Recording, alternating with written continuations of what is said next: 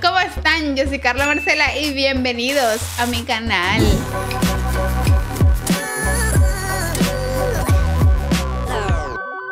Hello, ¿cómo están? Como siempre, esperando que todos se encuentren muy bien. Hoy nos venimos con una nueva video reacción y es a El Salvador. Nuevamente, ya hemos visto algunos videos por allí del Salvador, pero hoy vamos a ver específicamente las siete las siete, las siete maravillas de El Salvador. ¡Uy, qué emocionante!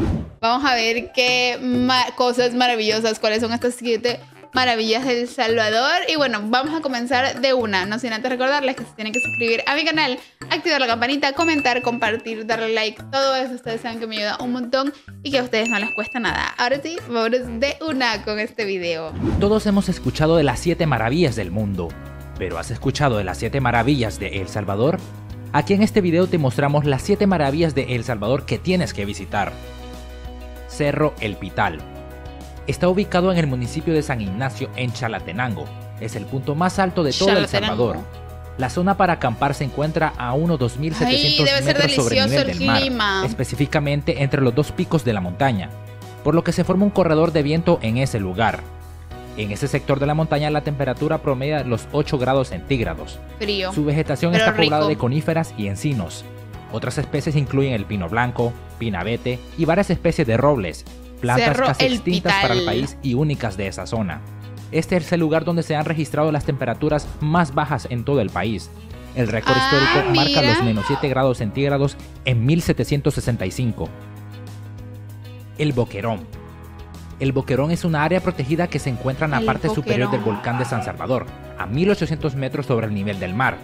La atracción principal del parque es un cráter de 1.5 kilómetros de diámetro y 558 metros de profundidad. Además, hay un pequeño cráter en el cráter principal llamado Boqueroncito.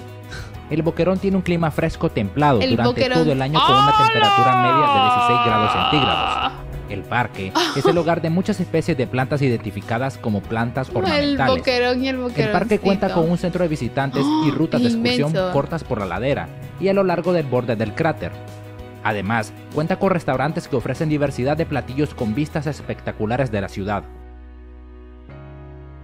la Puerta del Diablo. La Puerta del Diablo está ubicada en el municipio de Panchimalco, su principal atractivo es la grieta formada por dos peñascos enclavados sobre el cerro El Chulo, en cuyas cimas puede observarse un amplio panorama. Dice la leyenda que en tiempos de los colonos, la hija de los terratenientes de los planes de renderos fue cortejada por el mismísimo príncipe de las tinieblas, ya que ella era muy hermosa y era apreciada por la servidumbre del lugar. Su padre, Pedro Renderos, de ahí el nombre del cantón donde se ubica, decidió no dejarla en las garras de Luzbel. Salió en persecución de este cuando cayó la noche, el maligno, acosado por todos los arredentarios del hacendado, huyó atravesando las montañas y derribando parte de ellas con su golpe. La mm, mitología popular ha dado en decir que, desde entonces, y debido a la forma de arco que el golpetazo talló en la cordillera, fue denominada Puerta del Diablo. Es definitivamente un lugar increíble que tienes que verlo con tus propios ojos. Laguna de Alegría. Disculpa, la Laguna de Alegría está situada en el molestando una mosca por en la Sierra Tecapa Chinameca, a menos de 2 kilómetros de la ciudad. La laguna tiene un fácil acceso a través de una calle empedrada que atraviesa cafetales. La entrada es controlada y existen restricciones para asegurar la conservación ambiental del sitio. La laguna de Alegría debe su color esmeralda al azufre y los minerales que se encuentran en el cráter del volcán. Cuenta la leyenda que por las noches aparece una sirena, quien encanta a todos los hombres jóvenes que llegan a tomar un baño en las aguas. Otra de las leyendas que no este lugar es la del palmerito encantado, un pequeño árbol que se encuentra en las paredes del cráter y que tiene la cualidad de moverse a placer. Volcán de Santa Ana. El nombre oficial de este volcán es Ilamatepec. Es una de las visitas más increíbles que puede hacer en este pequeño país. Es una excursión fácil de realizar y el paisaje es espectacular.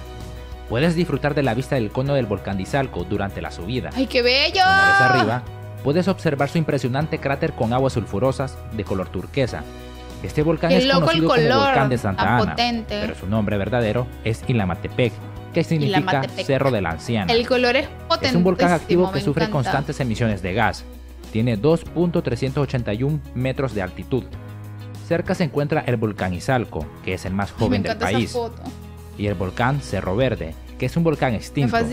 Estos tres volcanes forman parte del Parque Nacional de los Volcanes. Lo bueno de este volcán es que se puede subir hasta el cráter mismo y que puedes asomarte y ver la laguna sulfurosa que hay en él. Los Chorros de la Calera.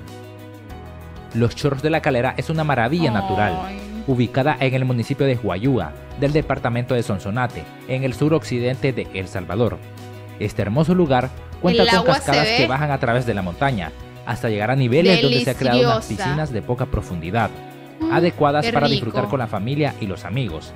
Su nombre se debe a que las paredes rocosas surgen chorros de agua natural, proveniente de nacimientos montaña arriba, formando hermosas cataratas de aguas cristalinas. el clima del lugar es agradable en todos los meses del año, debido a su espesa vegetación y humedad del suelo.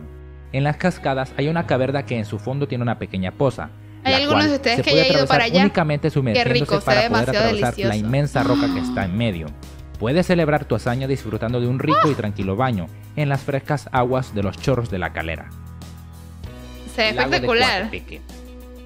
Ubicado a las faldas del volcán de Santa Ana, es considerado uno de los 10 lagos más hermosos del mundo y compitió, en años recientes, por ser una de las nuevas 7 maravillas del mundo natural.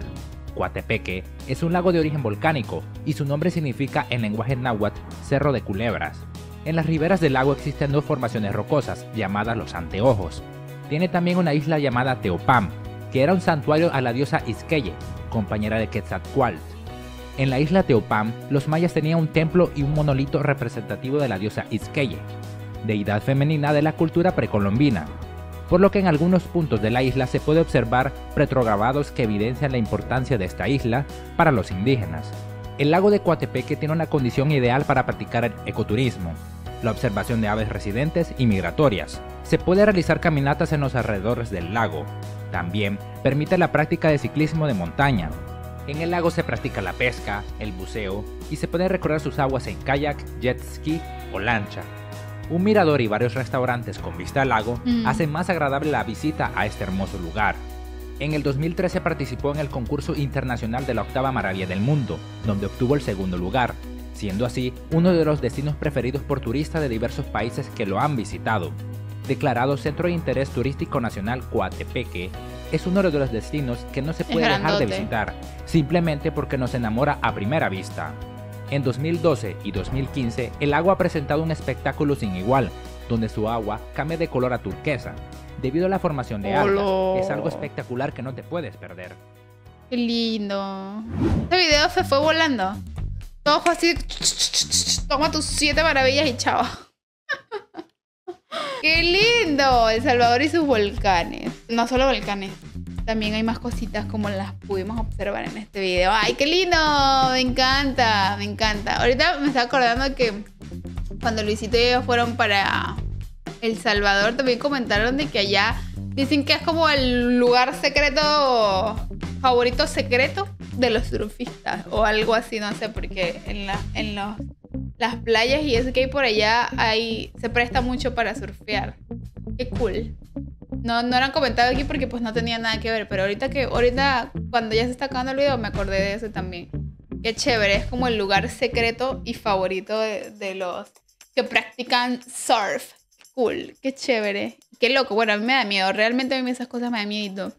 Y más si son playas, mares así alborotados, uh, bien por ellos, pero a mí la verdad es que eso no me gusta, yo soy bien miedosa con el mar. Pero bueno, eso no tiene nada que ver con este video que acabamos de ver. ¿Ustedes qué opinan? ¿Qué opinan de este video? mi favorito, mi favorito fue el de las cascadas. Precioso, eso se veía demasiado rico estar ahí disfrutando, de verdad, como dice un domingo en familia, riquísimo. Y más que dice que no se hace profundo ni nada. Esas aguas se veían riquísimas, de verdad. De verdad, o sea, si alguno ha estado allí, por favor déjenme en los comentarios, dígame si es de verdad tan bonito como se ven en, esas fotos, se veía riquísimo. Y bueno, nada, este fue este video. Nuevamente, si alguno quiere acotar algo, dejar un comentario o decir lo que sea, pueden dejarlo en la parte de abajo, en los comentarios, que siempre estoy leyendo y pendiente de todo eso por allá. Este fue este video. Yo me despido, no sin antes recordarles nuevamente que se tienen que suscribir a mi canal, activar la campanita, comentar, compartir, darle like. Todo eso ustedes saben que me ayuda un montón y que yo de antemano se los agradezco. Me voy. Les mando un beso enorme. Chao.